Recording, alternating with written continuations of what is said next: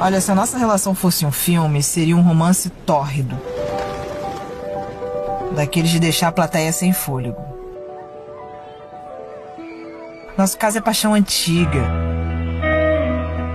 E que só ganha força com o tempo. Ele me conhece por todos os ângulos e sabe como ninguém revelar o que compõe a minha identidade o que eu escondo em minha alma, o que me arrepia a pele. Faz de mim sua musa e eu transformo o que ele imagina em realidade.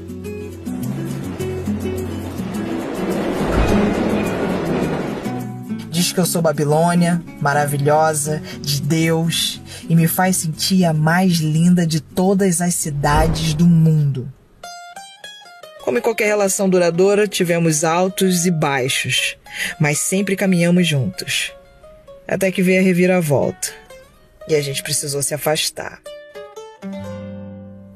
Mas como não há mal que dure para sempre, ele tá voltando para casa. E agora o plano é sequência de amor sem fim.